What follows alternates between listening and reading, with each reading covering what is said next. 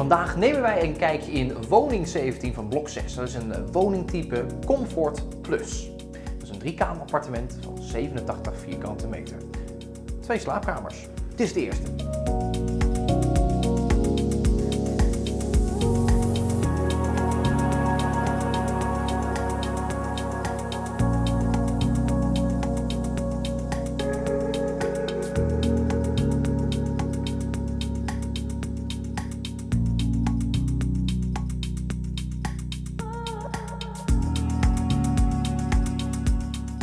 Ja, hier in Haarlem Plaza West hebben we vier soorten woningstypes.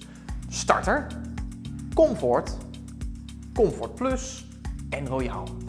Alle woningen worden uiteraard opgeleverd met behang, met een mooie inbouwkeuken, zoals een inductieplaat, een vaatwasser en een combi-oven slash magnetron.